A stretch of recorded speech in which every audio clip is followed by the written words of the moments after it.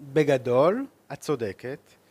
אה, אין מספיק אירועים, נכון שיש אה, גם אה, לחג הקרוב בשבוע הבא, יש אירועים וזה לא מספיק.